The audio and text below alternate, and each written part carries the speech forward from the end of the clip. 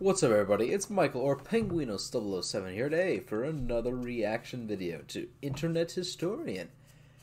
I didn't expect another video to come out for another six months. I mean, he did in like two, three weeks, so I'm pretty good. The virus strikes back, so the virus, the virus part two. Sorry guys, it's uh, currently, well, it's Friday morning, but it's technically Thursday night. I would have recorded this Monday if uh, I had time, but you know, college and all that stuff. So let's just get into this reaction. Nither's asleep because he's always asleep. Yeah.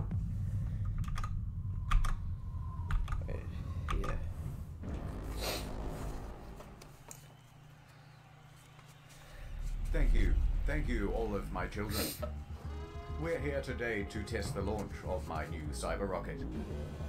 With this, I pledge to you that we will have a man on the Earth by the year 2030. But before we embark on this journey, we must talk about some of the mistakes of the past, so that we are not doomed to repeat them. anyway, it was a sunny day in downtown Wuhan, and people were coughing into each other's mouths, as is customary in that part. You're going viral, douchebag. I'm a big man, and I'm gonna pull out my dick. What the heck did you just say about me, you little cashier? I'll have you know that my husband graduated the top of the class in Navy SEALs, and I've been involved in numerous one star raids on Yelp with over 300 lawyers. I am trained in making formal complaints and the top 911 speed dialer in the whole entire suburb. You are nothing to me but just another con- convenience. I will phone the heck out of your manager with a sense of entitlement that looks you've never seen before in this department. Blah, blah, blah. Fucking Karens. February 2020. The virus is everywhere. But some were sneaking out. Yeah, I saw this Others clip. not taking it seriously at all. directly in my face. People were outside, going about their normal lives. Get drunk before everything closes. It was time for drastic action. So, the mayors and governors from around the world gathered together with a solution to the problem of sneaking out while grounded. Snitching hotlines. Snitches get rewards. Simply take a picture of someone and text it to the official snitch line to put those rule breakers in their place. Has been gold. Over here at Wendy's. What a scoop! Instant justice. Some people need to get the message. Send a photo, and we will make sure that enforcement comes right away. But naturally, many New Yorkers did not take very kindly to this idea. So, they decided to text the hotline as well. Text after text came rolling in. what a success! Let's open the first one. Surprise! Turns out people weren't just sending in tips, they were sending the whole shaft.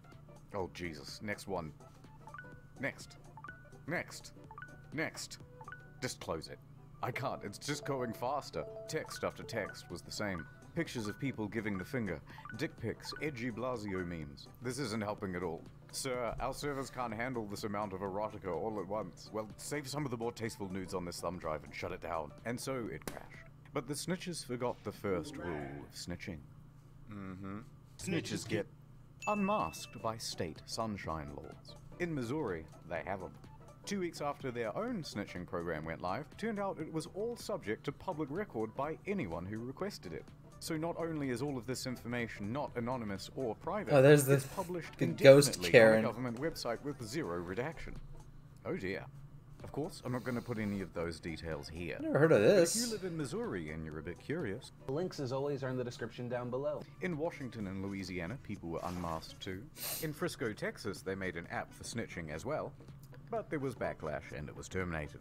In LA, the mayor's infamous Snitches get rewards. statement was walked back.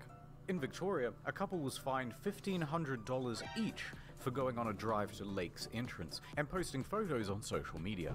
You there, sir? Uh, I certainly hope you've got a license. Warned that if they do it again, they would be arrested. Except the photos were from a year ago. We're not going to get everything right all the time, and we will make mistakes. But worst of all was the UK. Nine coppers for one lad. Well, you relax. ridiculous. 194,000 calls in a single month had been made regarding people leaving their homes without a license, and tens of thousands of fines had been issued. The British frown down on telltales. There's even an old nursery rhyme. Telltale tit, your tongue shall be slit. You make any more noise, and I'm calling the police. Show me what you've got. What a bunch of bitches.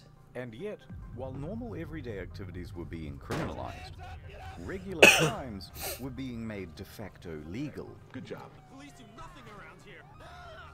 And in major cities, it seemed as though everyone was going for the high score. Rioting.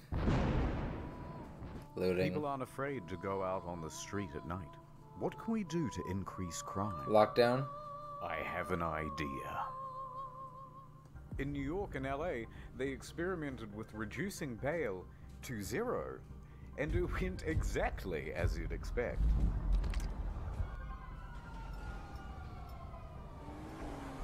But it wasn't enough.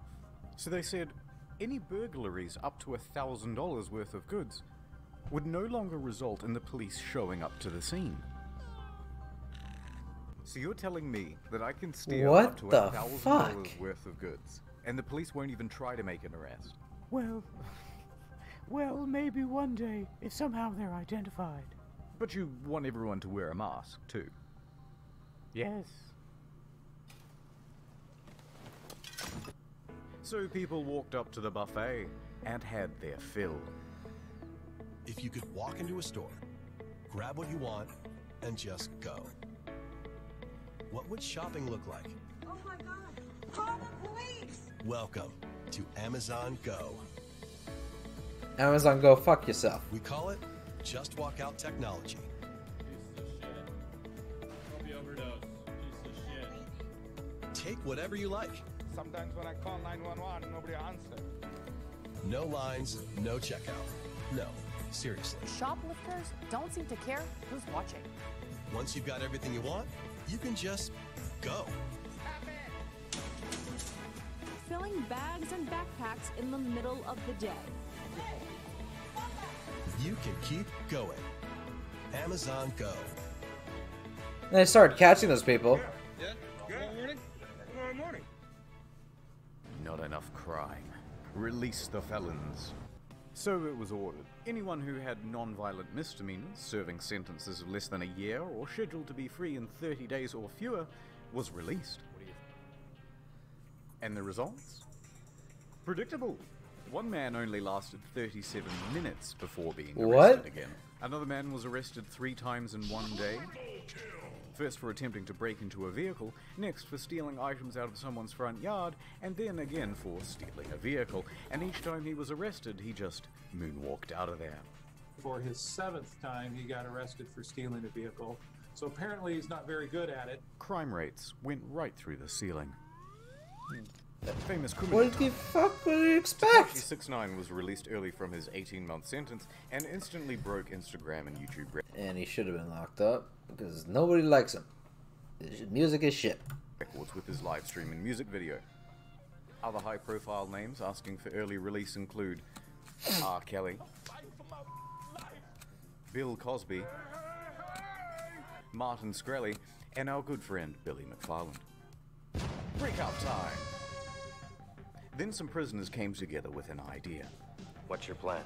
Well, if we have an outbreak at our prison, then maybe they just have to let some of us go. Worth a shot. So prisoners at the North County Correctional Facility tried passing around water containers and shared a mask to get it. It worked, somewhat, as 30 prisoners soon tested positive for the virus. But then administrators cottoned on to what they were doing, and none of them were released. And then they died. Congrats, you're an idiot. The lockdown was dire for some of the others. Give a thought for celebrities. They're all suffering in their $5 million mansions, right? It's not like you were confined to like one room apartment buildings. Go fuck yourselves. this should be fucking great. Sorry for Speaking pausing. of people who should be in prison, Celebrities. Ellen, fuck we Ellen. Have forgotten about the important people. Guys, we're bored too. They crave the attention. They need it. Without it, they will surely shrivel and perish. But when everything gets shut down and they're trapped in their homes and can't get on TV, they begin to go a little stir.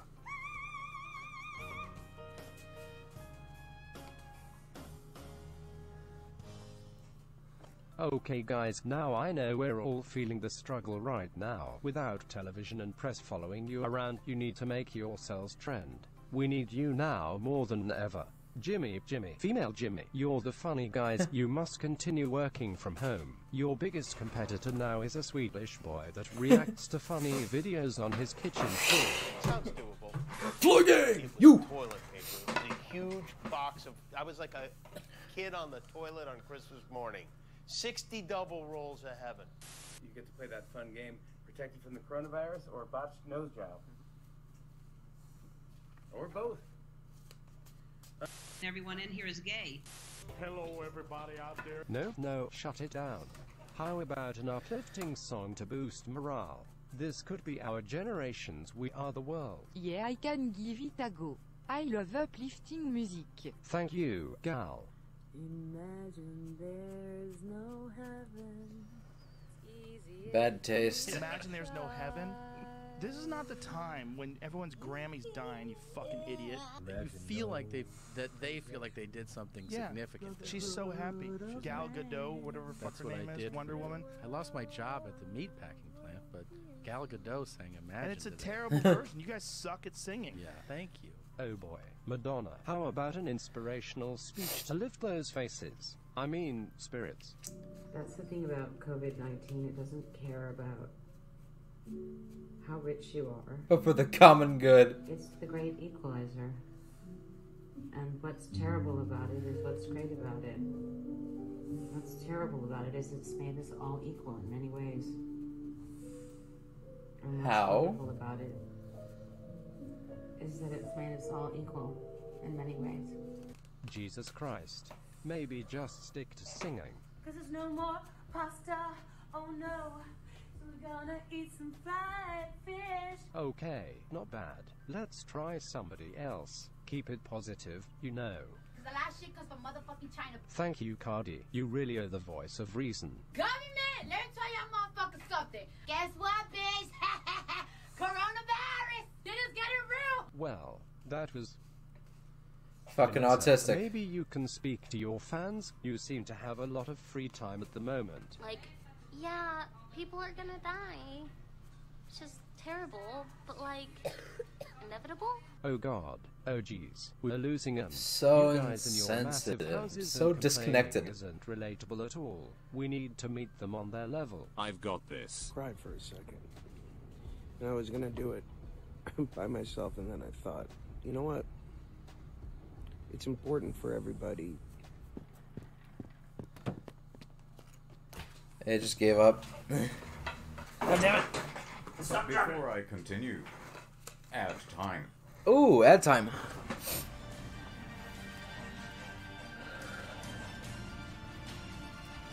The name's Ray. Ray Khan. But you can call me Ray Khan, man. Dad, look, I got you a present. Thanks, son. Uh, let's go throw the old football around in celebration of my new present. Wired headphones. With wires.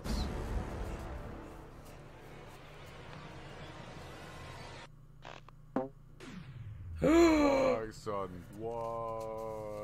You're responsible. No. Never again.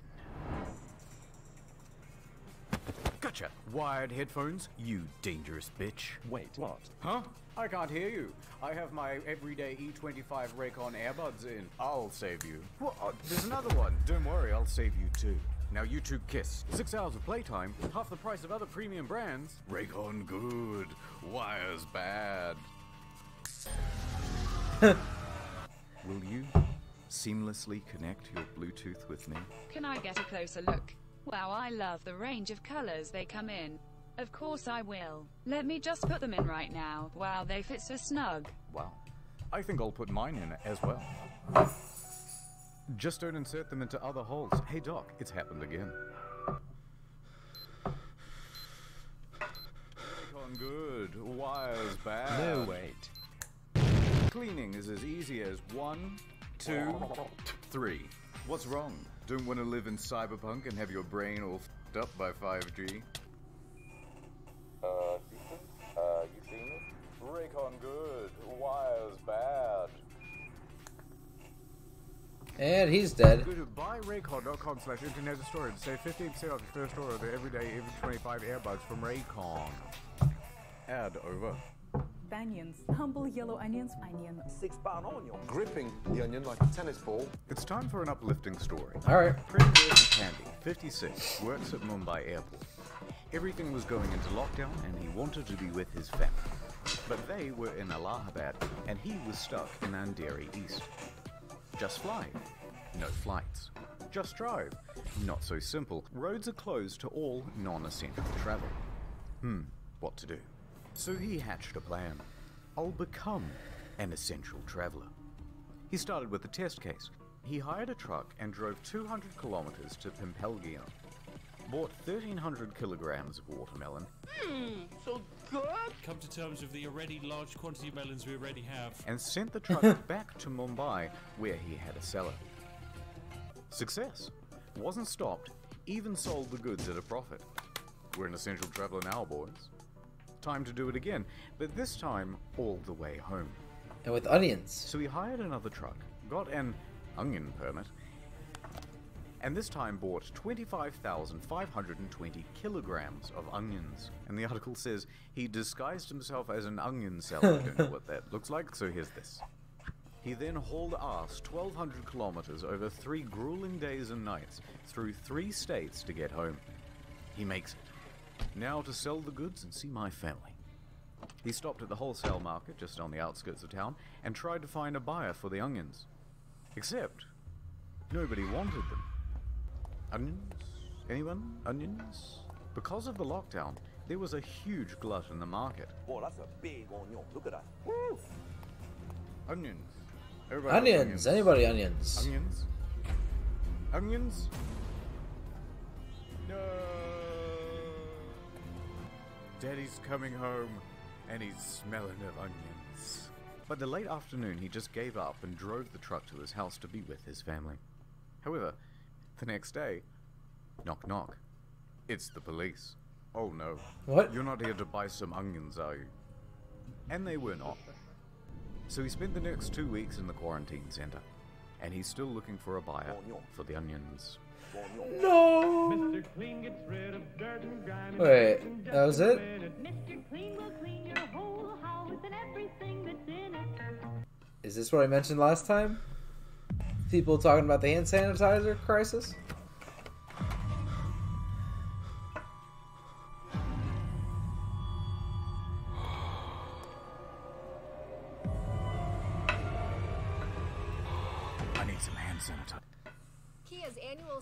Go away.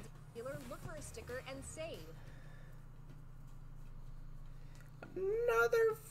f- Don't.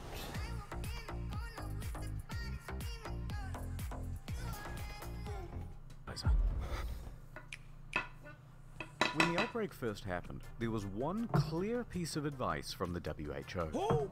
Wash your hands. Yep. Wash your damn Both fucking soap hands. and hand sanitizer would work. But we had plenty of soap. So naturally, we panicked about the hand sanitizer. Good thinking. That's gold. That's gold. And panic soon turned to profit. There's one US guy. They'd seen the rush on toilet paper and they knew to get in quick. And two of the fastest shoppers in the West were entrepreneurial brothers, Matt and Noah.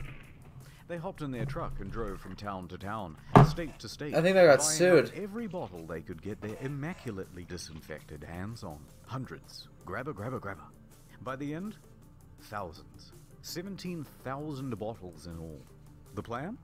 Sell them on eBay and Amazon at a huge markup. It was the perfect crime. Well, until the inevitable happened. Everyone got super mad. The New York Times, low on hand sanitizer themselves, decided to investigate the brothers, and they wrote an article. The unsterilized masses made complaints. I don't like this one bit. Please send the cops immediately. And then someone went to Jeff. Oh, that and fucking Karen. told. Jeff made their online accounts go to sleep. eBay followed suit. Bad. Now there was nowhere to sell their goods. Then the law got involved, and the DA said price gouging illegal. Yep. Me. There it is. So the authorities called up Matt and Noah. Hey guys. Hey, good to hear from you. You too. Afraid it's not entirely a social call though. Oh no? Yes. Price gouging illegal. So what you want? Uh, prison or philanthropy? We're sending over a squad car now. I have decided to give back to the community. So the police pull up, the media too, and Matt and Noah announce that they will be giving it all away for free. They did an interview for television and wore this amazing shirt. The pricing on Amazon was higher than it was definitely higher than retail. Would you say you're sorry? No, I don't think that I would. What? Note. A similar thing happened in Adelaide, Australia, when a man bought up hundreds of packs of toilet paper and hand sanitizer. Then he realized he couldn't sell it, and tried to return it all back to Drake's supermarket. Drake himself told the guy to please leave. I told him that. He has a YouTube channel, by the way, but this did Whoa. little to abate the shortage of supply and overall price gouging. But don't be too mad at these guys. They're small timers, microscopic, compared to China. Stop! Oh, sorry. What I mean is, compared to the brave heroes at the CCP. There's an outbreak.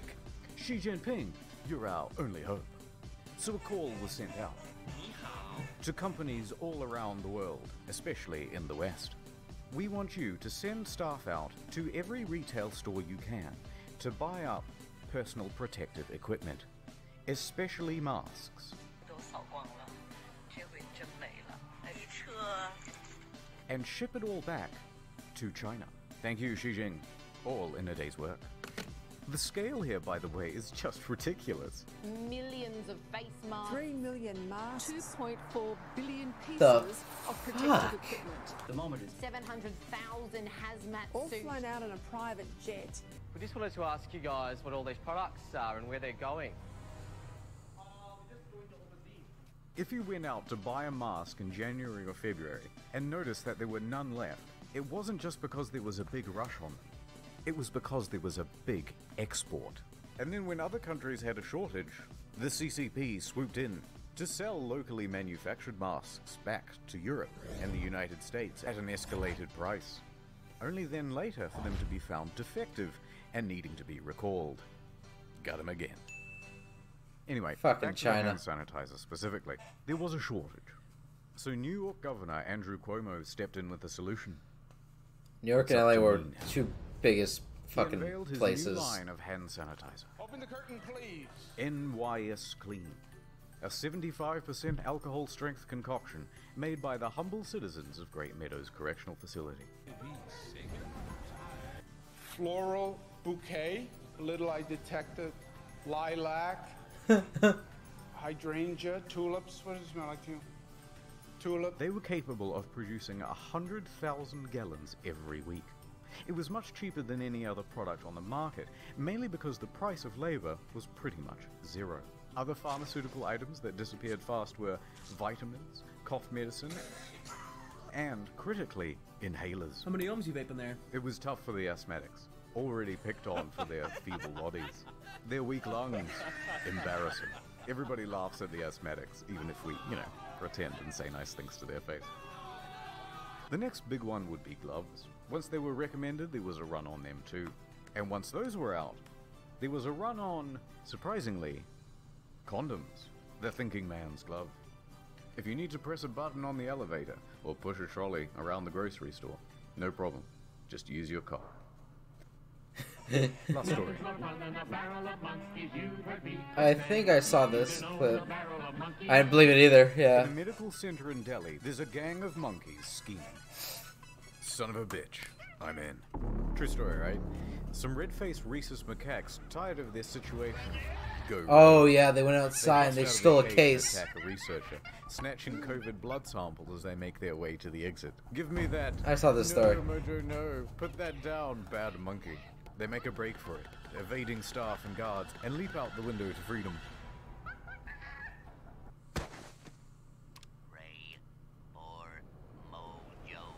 One was later seen in a tree chewing on one of the samples. In a further act of defiance, another was seen chewing on a surgical glove. Apparently, it's become a big problem in Delhi. Monkeys everywhere. They snatch people's stuff and even break into homes. Even it seems kill? that nature isn't just returning peacefully. It's come back with a vengeance. And if we intend to survive, we're gonna have to learn to fight back.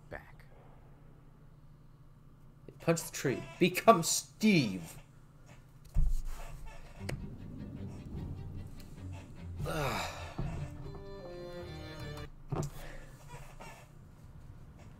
So anyway, with this knowledge, we will conquer Earth and rule over it once again. oh no. It's here. And that's about it. Probably no part 3 unless something ridiculous happens, like an autonomous zone in Portland or the government shutting off utilities. Plugging the second channel again, you bet. We've got a feature-length Sundance review coming out in a bit over a month. This one's going to be over an hour long, so grab some popcorn, ah. Aw. maybe a little viewing party, watch your favorite streamer. This one will be more fun as a group. But before that, next week, there's a new In the Field. Thanks for watching. Stay good. I would like to see the autonomous zone, but I mean, I watched Memology 101 for that. Holy fucking shit, people are so fucking retarded. Oh my god. I want to see a video on Portland just on the autonomous zone. Holy shit. Anyways, guys, thank you guys for watching this video. If you like the video, do whatever the hell you want. It's not up to me, it's up to you. And let's see if this video, how bad the ratio is on this video. See ya.